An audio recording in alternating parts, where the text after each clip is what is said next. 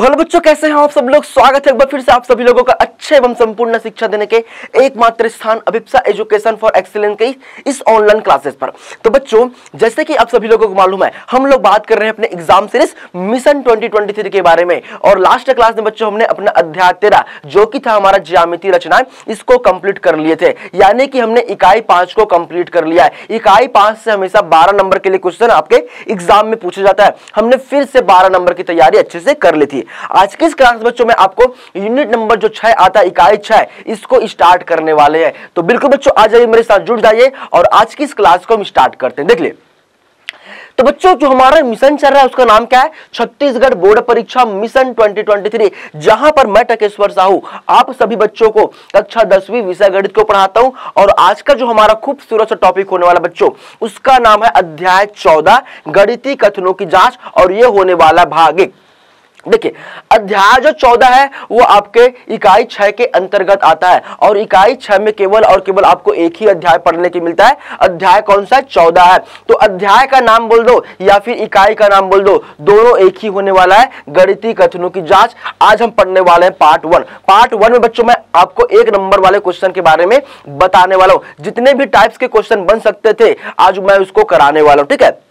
इसके बाद इसके दो और पार्ट आएँगे, जहाँ पर मैं आपको छह क्वेश्चन कराने वाला हूँ। पार्ट टू में मैं आपको तीन क्वेश्चन और पार्ट तीन में मैं फिर से आपको तीन क्वेश्चन कराने वाला हूँ। तो टोटल में आपको छह most important question second class और थर्ड क्लास में पढ़ाने वाला बिल्कुल। देखिए बच्चों जैसे कि मैंने आपको स्ट्रेटेजी वाले क्लास में बताकर रखा है कि इस अध्याय से हमेशा आपको दो क्वेश्चन पूछा जाता है। एक जो प्रश्न रहेगा वो आपका ऑब्जेक्टिव रहेगा और एक जो प्रश्न रहेगा वो आपका तीन नंबर के लिए पूछा जाएगा। तो इसके आपके, इस अध्याय के टोटल आपको तीन पार्ट में मैं वीडियो देने वाला हूँ। आज की क्लास में पार्ट वन में हम एक नंबर वाले मोस्ट इंपॉर्टेंट क्वेश्चन पर बात करेंगे, फिर सेकेंड और थर्ड पार्ट में हम यहाँ पर तीन नंबर वाले मोस्ट इंपॉर्टेंट क्वेश्चन पर बात करने वाले हैं। देखिए, इस अध्याय में बच्चों, कोई भी फॉर्मूला वगैरह कुछ भी नहीं आता है। कुछ बेसिक बेसिक सा कॉन्सेप्ट होता है। उसको हम सवालों पर ही देख लेंगे। तो डायरेक्टली हम बढ़ना चाहेंगे अपने क्वेश्चन की ओर। और, और ये रहा आपका क्वेश्चन जो आपके स्क्रीन पर आ चुका है। एक नंबर के लिए पूछे जाने के चांसेस बनते। आ जाओ। चलिए। अब इन प्रश्नों को हम सर आंसर कैसे दें? देखो यहाँ पर ये ऑब्जेक्टिव टाइप का क्वेश्चन नहीं है। क्या पूछ लिया गया है? निम्नलिखित कथन सत्य है या फिर असत्य लिखे? कोई भी ऑप्शन वगैरह आपको नहीं दिया गया, एक लाइन में एक स्टेटमेंट दिया गया, कथन दिया गया, आपको उसको पढ़ना है, समझना है और बताना है कि जो कथन दिया गया, लिखा गया है, वो सत्य या फिर असत्य। बिल्कुल सब बता देंगे, देखो। तो पहला नंबर का जो प्रश्न है, क्या बोला गया है कि वर्गमूल दो जो है, एक परिमेय संख्या होती है। तो बच्चों, याद कीजिए, आपने कक्षा नौवीं में जो आपका अध्याय दो आता है, वास्तविक संख्या, वहाँ पर आप लोगों ने पढ़कर आया हुआ कि सर, वर्गमूल जो दो होती है, वो तो ना आपका अपरिमेय संख्या होती है। क्या होती है बच्चों? अपरिमेय संख्या होती है। तो यह दिया गया कथन पूर्णता क्या है? असत्य है। क्या बच्चों? असत्य वर्गमूल दो परिमेय संख्या नहीं होती, अपरिमेय संख्या होती, बिल्कुल। तो दिया गया जो कथन है, वो पूर्ण पूर्णतः असत्य। क्या है? असत्य कथन बिल्कुल। टिक करो आगे निकलो। असत्य लिखो आगे निकलो। चलो बढ़ते हैं नेक्स्ट क्वेश्चन की ओर और, ये रहा आपका अगला क्वेश्चन आपकी स्क्रीन पर देख लो। कुछ भी दम नहीं है बिल्कुल कुछ भी दम नहीं इसमें आ जाओ बिल्कुल देख लो। चलो अब इस क्वेश्चन को करते हैं देखो। सभी सम संख्या दो से भाज्य नहीं होती। है कैसा क्वेश्चन पूछ रही है? कैसा क्वेश्चन भैया? भाज्य दो से भाज्य नहीं होती। भाई सम संख्या बोल दिया गया और सम संख्या क्या होती है? जो दो से भाज्य होती है, जो दो से भाग जाए, पूर्णता भाग जाए, उसी को तो हम सम संख्या कहते हैं ना। तो यहाँ पर उल्टा ही पूछ लिया गया सभी सम संख्या दो से भाज्य नहीं होती है। अगर वो दो से भाग नहीं जा रही है तो वो सम संख्या होगी भी नहीं। अगर वो सम संख्या है तो बिल्कुल वो दो से भाग जाने वाली है। क्योंकि सम संख्या की डेफिनेशन क्या कहती है? ऐसी संख्या जो दो से पूर्णतः भाग चली जाए। वह क्या कहलाती है? सम संख्या कहलाती है। तो दिया गया कथन पूर्णतः असत्य है। क्या बच्चों? असत्य, बिल्कुल चिपका असत्य चिपका दो, असत्य। ठीक है सर, यहाँ तक की कहानी में समझ में आ चुकी है कि यह कथन क्या है? असत्य। चलिए, अब बढ़ते हैं नेक्स्ट क्वेश्चन की ओर। बिल्कुल टाइम वेस्ट नहीं करेंगे। और ये रहा हमारा अगला क्वेश्चन आपकी स्क्रीन पर। आ जाओ। देखो, चलो। चलो, क्या पूछा गया यहाँ पर? दो सम संख्याओं का योग सदैव सम संख्या होता है। क्या पूछ लिया गया है? दो सम संख्याओं का योग सदैव सम संख्या होता है। अब यहाँ पर आप बहुत सारे एग्ज़ाम्पल लेकर उसको जोड़कर देख सकते हो। चलो, मैं कोई सा भी दो सम संख्या लेकर देख रहा हूँ। चलो, मैंने दो लिया और मैंने लिया चार। दोनों को जोड़ा तो मुझे मिल गया सर छह। बिल्कुल छह मिल गया। दो सम संख्या चार भी सम संख्या दोनों को जोड़ दिया तो मुझे जो छह मिला है, वो भी सम संख्या बिल्कुल। और कुछ एग्ज़ाम्पल देख लेते हैं। देखो चलो, मैंने दस लिया और बारह लिया, ठीक है? दोनों को जोड़ देंगे तो मुझे मिल चुका सर, बाईस। दस सम संख्या है बारह भी सम संख्या है, जो दोनों को जोड़ने के बाद रिज़ल्ट मिला है, बाईस। ये भी क्या है, सम संख्या है। तो बच्चों, हम यहाँ पर बहुत सारे एग्ज़ाम्पल लेकर समझ सकते हैं कि बिल्कुल दो संख्याओं का, दो सम संख्याओं का योग सदैव सम संख्या होती है। तो दिया गया कथन, दिया गया कथन पूर्णतः सत्य है। क्या बच्चों? सत्य है। पूछा गया है, पूछा गया कब? 2018 सेट ए में पूछा गया था। बिल्कुल, आने के चांसेस बनते हैं। मैं मोस्ट इंपॉर्टेंट क्वेश्चन को करा रहा हूँ। ठीक है, चलो। बढ़ते हैं नेक्स्ट क्वेश्चन की और ये रहा आपका अगला क्वेश्चन आपके स्क्रीन पर, जो कि एक नंबर के लिए पूछे जा सकते हैं। आ जाओ। पूछा भी गया है। 2018 सेट बी में पूछा भी गया बिल्कुल, आ जाओ। कुछ भी दम नहीं है। बेसिक कॉन्सेप्ट आपका बस क्लियर करना पड़ेगा। ठीक है, आ जाओ, देख लो। क्या पूछा गया है? एक विषम संख्या और एक सम संख्या का योग सदैव सम संख्या होता है। अब इसको मैं आपको एग्जांपल लेकर बताता हूँ। देखो, हमें पता है कि सर एक जो है, एक जो क्या है, विषम संख्या है, क्योंकि जो एक है, वो दो से पूर्णतः विभाजित नहीं होती है। ठीक है, क्या बोला था? एक विषम संख्या और एक सम संख्या। चलो, मैं इस विषम संख्या में मैंने एक सम संख्या दो को जोड़ दिया तो सर मुझे रिज़ल्ट मिला क्या? तीन मिल चुका। क्या मिल चुका? तीन मिल चुका। और आप लोगों को अच्छे से पता बच्चों जो तीन है, वो सम संख्या नहीं है। ये दो से पूर्णतः विभाजित नहीं है। तीन क्या है? विषम संख्या। और यहाँ पर क्या बोला था कि एक विषम और एक सम संख्या का योग सदैव सम संख्या होता है। जबकि यहाँ पर हमने एक ही एग्ज़ाम्पल में इस कथन को असत्य प्रूफ कर दिया कि हमने लिया एक विषम संख्या एक और एक सम संख्या लिया दो, दोनों को जोड़ दिए। तो हमें रिज़ल्ट मिला तीन और तीन क्या है? विषम संख्या है। तो दिया गया कथन पूर्णता पूर्णता क्या है? असत्य है। ये एक ही एग्ज़ाम्पल में फेल हो गया। बाकी एग्ज़ाम्पल में लेने की ज़रूरत ही नहीं है। एक ही एग्ज़ाम्पल में फेल हो गया। कथन असत्य है, बिल्कुल चुपकाओ कथन असत्य है, ठीक है? कथन असत्य आगे बढ़ो। चलो बढ़ते आगे। तो नेक्स्ट क्वेश्चन आपके स्क्रीन पर आ चुका चलो इसका जवाब दो। आ जाओ। बिल्कुल देख लो। क्या पूछ लिया गया, क्या पूछ लिया गया दो विषम संख्याओं का योग सदैव विषम संख्या होता है। दो विषम संख्याओं का योग सदैव विषम संख्या होता है। चलो, अब इसको भी हम एग्जांपल लेकर समझते हैं। क्या बोला गया है? दो विषम संख्या लेना है। दो विषम संख्या लेना चलो, मैंने यहाँ पर लिया एक। एक पता कि एक क्या है? विषम संख्या है। अब मैं अगले वाली विषम संख्या ले रहा हूँ। चलो मैंने ले लिया तीन। दोनों को जोड़ दिया। दोनों को जोड़ दिया बच्चों तो मुझे मिल चुका है चार। और चार विषम है कि सम है? आपको अच्छे से पता है कि चार जो है वो दो से पूर्णतः विभाजित है। तो चार जो क्या है वो सम संख्या है। तो कथन में क्या बोला था? दो विषम संख्याओं का योग सदैव विषम संख्या होता है। लेकिन यहाँ पर हमने एक और तीन को लिया। दो विषम संख्याओं को लिया और जोड़ा। तो, तो हमें तो मिल गया सर सम संख्या। हमें क्या मिल मिल गया सम संख्या मिल गया तो दिया गया कंथान पूर्णतः असत्य है। पूर्णतः क्या असत्य है? ये एक ही एग्ज़ाम्पल में फेल हो गया। एक ही एग्ज़ाम्पल में फेल हो गया बाकी एग्ज़ाम्पल लेने की बिल्कुल ज़रूरत नहीं पड़ने वाली है। पहले ही एग्ज़ाम्पल में फेल हो गया तो दिया गया कथन पूर्णतः असत्य है।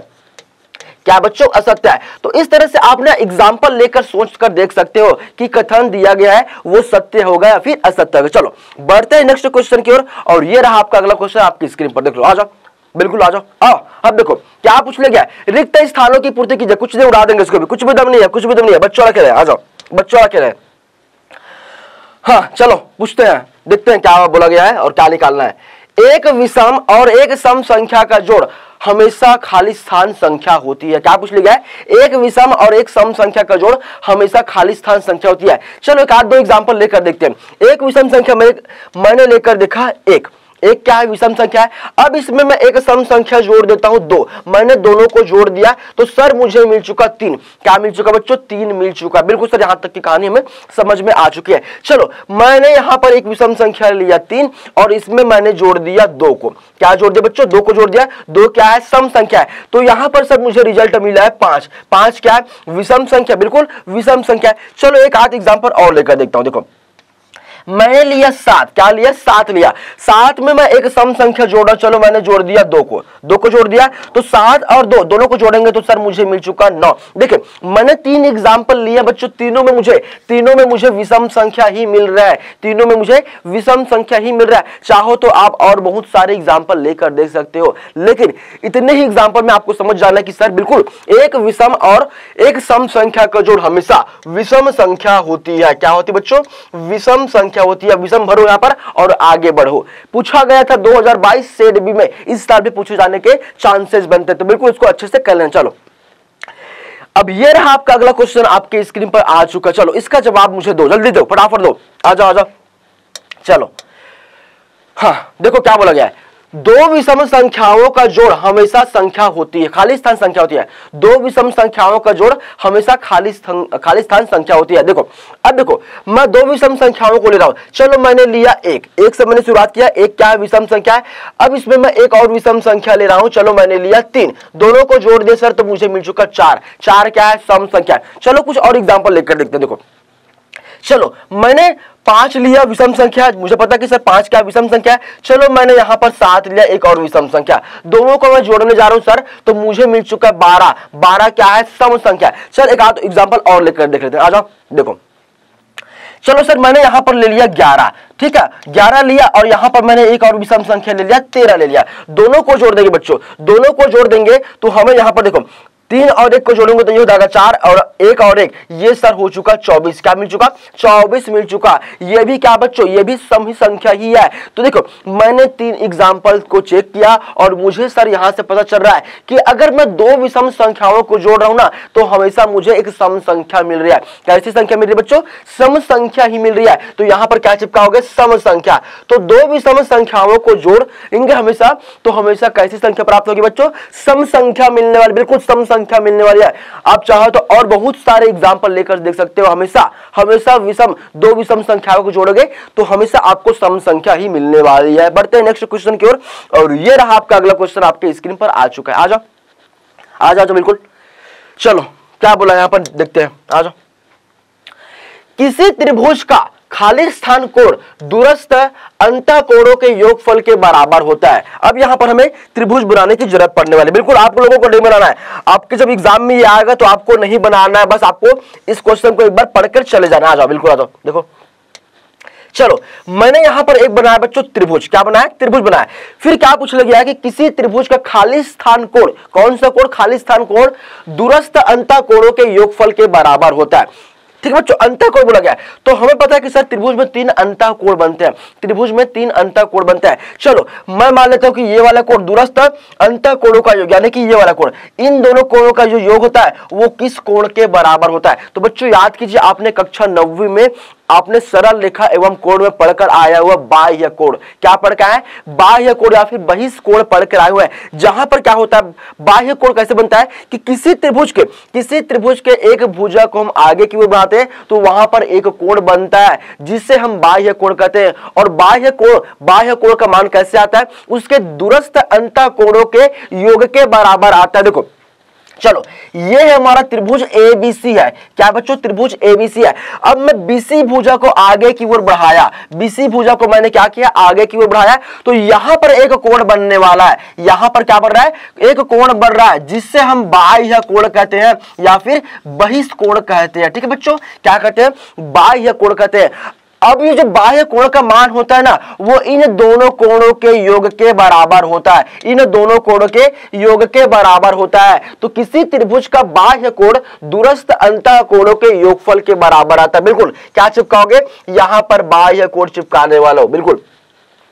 इस तरह से आपको ये चेक करना पड़ेगा। बिल्कुल सर, हमने यहाँ पर इसको समझ लिया। चलो, बढ़ते हैं नेक्स्ट क्वेश्चन की ओर, और और ये रहा आपका अगला क्वेश्चन आपके स्क्रीन पर आ चुका है। चलो, इसका जवाब दो फटाफट। आ जाओ। चलो सर, इसको सॉल्व करते हैं, आ जाओ। देखो, क्या बोला गया है कि किसी भी त्रिभुज की दो भुजाओं का योगफल तीसरी भुजा से खाली स्थान होता है। याद कीजिए बच्चों, मुझे याद नहीं आ रहा है कि मैंने इसको कौन से अध्याय में पढ़ा था। एक बार मैं इसके बारे में और बता चुका हूँ कि त्रिभुज तभी बनता है, त्रिभुज तभी बनता है जब दो छोटी भुजाओं का योग, दो छोटी भुजाओं का योग बड़ी भुजा से बड़ी हो। मैंने क्या कहा बच्चों? कि त्रिभुज तभी बनता है जब दो छोटी भुजाओं का योग बड़ी भुजा से बड़ी हो। जैसे कि देखो यहाँ पर मैंने कहा कि तीन, चार और पाँच, ये क्या है? त्रिभुज की भुजाएँ। क्या बच्चों, त्रिभुज की भुजाएँ? अब सर, हमें यहाँ पर ये चेक करना है कि यहाँ पर त्रिभुज बनेगा कि नहीं। तो देखो, मैंने क्या कहा है? आप पहले दो छोटी भुजाओं को ले लो और दोनों को जोड़ दो। तो यहाँ पर छोटी भुजाएँ कौन कौन सी है? तीन और चार है। हमें सर दिख रहा कि पाँच तो बड़ी भुजा है। तो मैंने क्या किया? तीन और चार को जोड़ दिया। तो सर, हमें मिल चुका है सात। ठीक है, सात मिला।